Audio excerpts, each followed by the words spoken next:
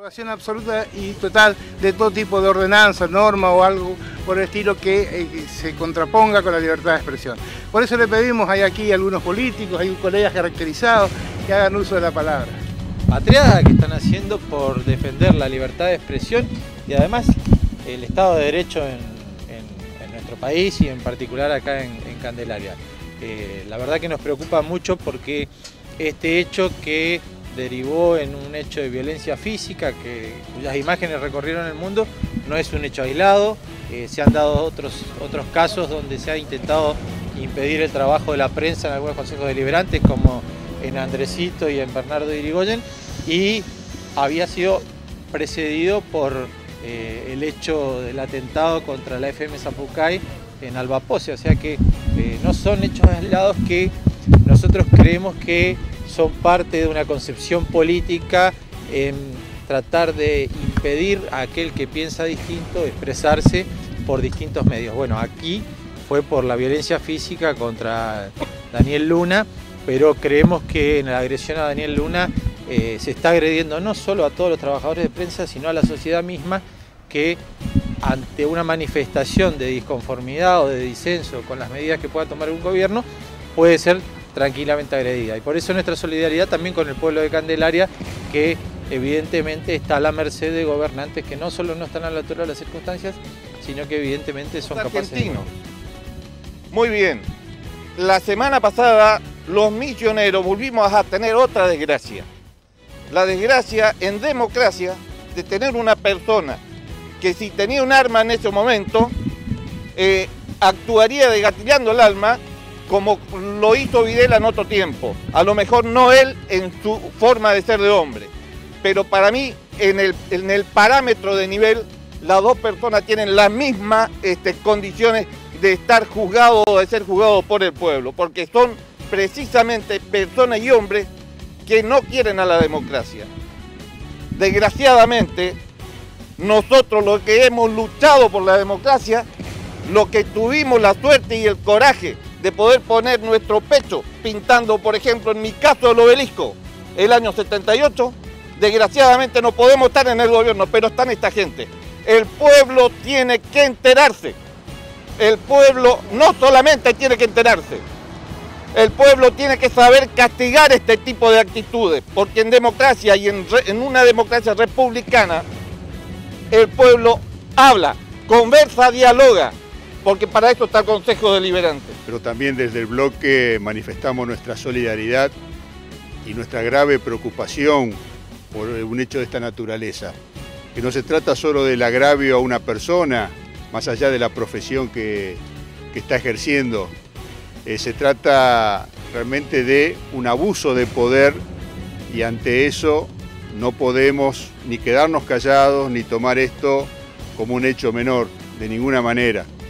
Cuando eso sucede, cuando hay un abuso de poder, es porque algo se intenta ocultar.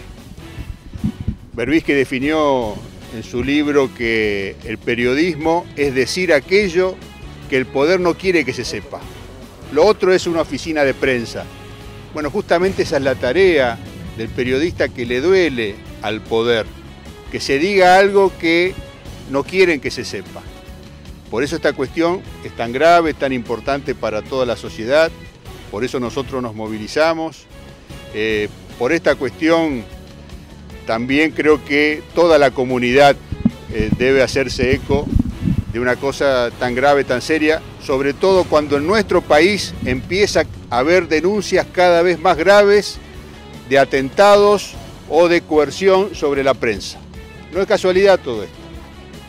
Alguien que hace una cosa así es porque se siente algún grado de impunidad, si no, no la hace.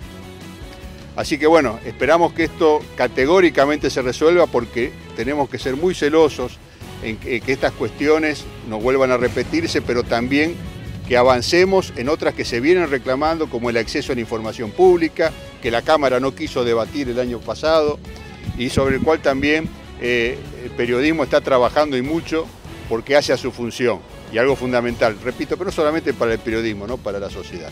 Muchas gracias hace ya casi tres años eh, fue, debutó la administración Flores eh, de Candelaria eh, incendiándome una parte de mi automóvil, cuando la consigna era que ese balde de 20 litros de combustible se, derramara por toda la casa. La, idea, después de informaciones de gente vinculada a la misma administración, nos había dicho que la idea era quemarme toda la casa. Eh, todo eso por, trabajar aquí en Candelaria, en el sistema de medios. él tenía solamente dos meses y medio de intendente y ya había mostrado las uñas. Los 45 días, no contento con eso porque no nos quedamos callados y seguimos hablando, informando, como siempre, como de costumbre, a los 45 días termina quemándole los dos autos dentro del sistema de medios a Luna. ¿no? Es decir, es una cadena de impunidad donde trata de amedrentar, porque este tipo de gente trata de buscar o, de marcar el territorio siempre con fuego.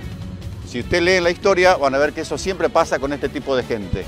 Entonces, eh, de esta manera trata de eh, llevar adelante una administración en, un pueblo que está eh, sometido, sojuzgado, con mucho miedo, con mucho temor, y donde de alguna u otra manera gente que como el sistema de medios y otros colegas tratamos de hacer o venir a trabajar o por lo menos llevar la, inquietud de la gente que no puede poner la cara porque tiene miedo, bueno, recibimos la represalia de este tipo de gente. Así que desde ya eh, el aprecio eh, y el afecto a todos los medios por cubrir y por ser valientes y estar hoy acá defendiendo no solo a ustedes, porque este no fue un atentado a un colega, fue un atentado a la democracia.